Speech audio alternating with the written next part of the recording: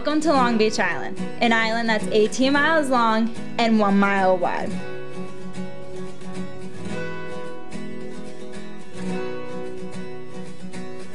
There is an old tradition here that if you give a newcomer a seashell and they hold it up to their ear and can hear the waves crashing, then they're destined to be here.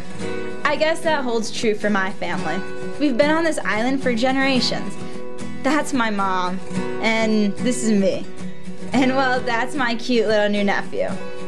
So I guess it's safe to assume that we're gonna be here for a while. Growing up at the shore, I could pretty much swim before I could walk. Surfing before school was a must.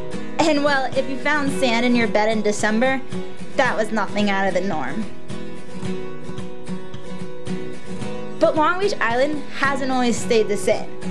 Summers have become increasingly hotter, so wealthy investors built up the island, creating more people and a lot more traffic. Climate change has also impacted our island by creating a slight rise in sea level, so the dolphins I used to see from shore when I was a kid aren't around much anymore. Oh, and there's one more huge thing I forgot to mention. Climate change has also heightened the impact of storms.